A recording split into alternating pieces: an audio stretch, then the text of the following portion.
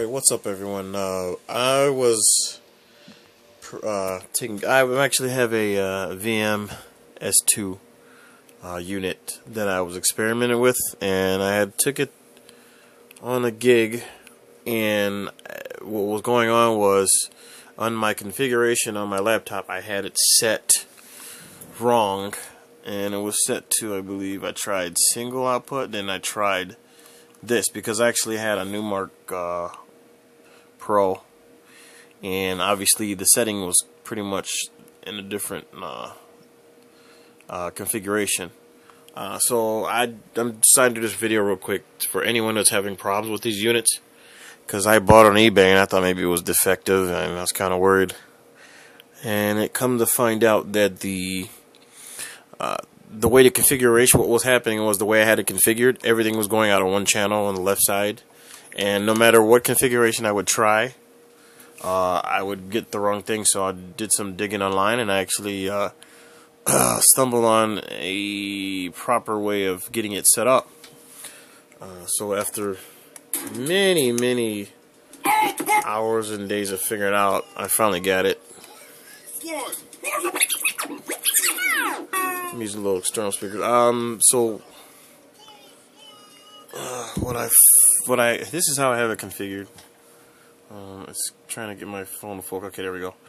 Um, like I said, I had it the wrong way, and without realizing that this unit is in fact uh, a mixer in itself, because uh, even though it takes in analog uh, signal it still switches digitally, so uh, it's kind of hard. It's kind of well, I, I, guess it's just digital slash analog. Uh, the input is actually analog, but the actual processing is still digital going through it, and configuration uh, is still digital.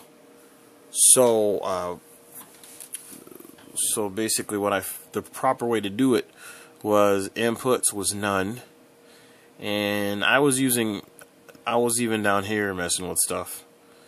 And I was using headphones, and then so the true setting is a external mixer because it in fact is external mixer.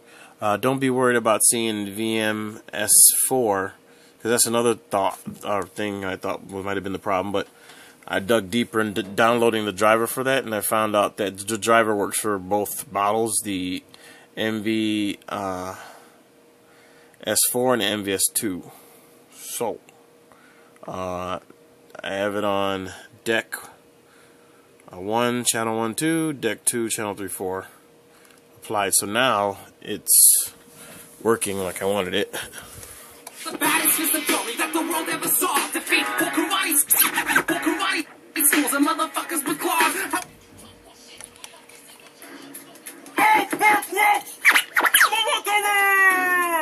So now it works the way I want it. So I just thought I'd throw that because I was really frustrated with this, and then when I found out that it's actually configured as an external mixer versus me using that stupid the at, at, that I had, um, it kind of threw me for a loop. So now you know that is set. Make sure you set it up as an external mixer, and everything will work out for you.